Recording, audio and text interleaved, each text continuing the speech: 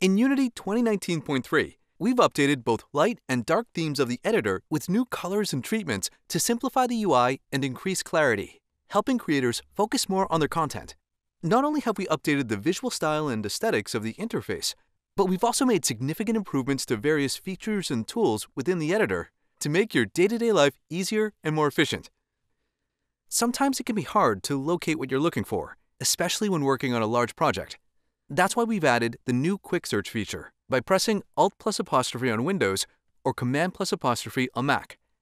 The Quick Search feature is a powerful tool that enables you to quickly and easily search your project or scenes and also discover settings pages, menu items, and more. Interacting with the search results will reveal the location of an object in your scene or project. You can select an item and open it in your Desktop Explorer, or drag items from the result directly into your scene. Quick Search also makes it easier to find associated settings pages and menu items, as well as making it faster to find learning materials or search posts on the Unity forum. The Quick Search tool is flexible and customizable to your needs. By opening the Unity Preferences window, you can change the kind of results you like to see, the priority in which the categories appear, as well as define the actions performed when you select an item in the list. Another workflow improvement is the Shortcut Manager, which allows you to customize and tailor your editor experience. For instance, if you like to change the default shortcut for the Quick Search tool, you can do so by opening the Shortcut Manager by choosing Edit, Shortcuts, and changing the default key shortcut to something more suitable for you. The Shortcut Manager includes all sorts of commands, including some which currently may not have any shortcut key assigned.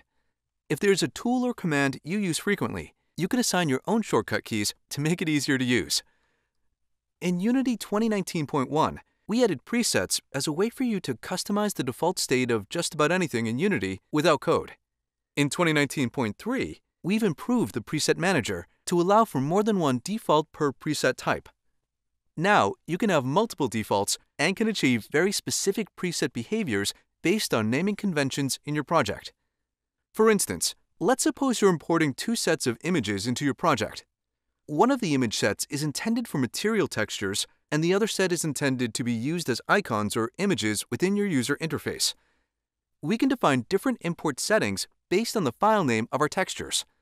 Once we've created a preset for the import settings we'd like to use on each texture type, we can locate the preset manager in our project settings and add them as default settings for the importer alongside the filter we'd like to use to classify our images by.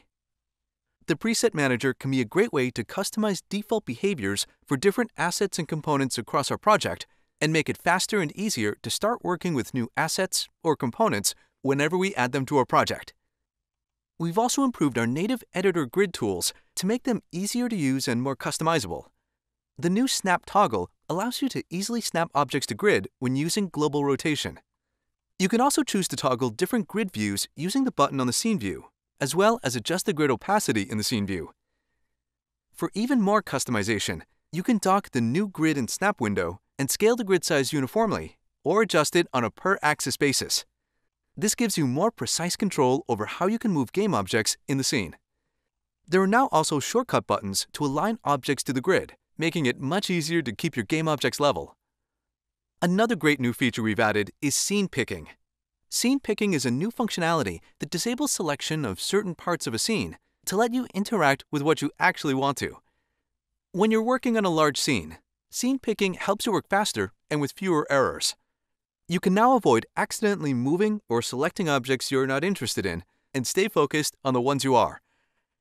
These are just some of the many improvements we've made to the editor in the 2019.3 release, and we're continuing to look at how we can use your feedback to continue improving your experience using Unity. For more information on additional improvements made in Unity 2019.3, follow the link in the description below. Thanks for watching.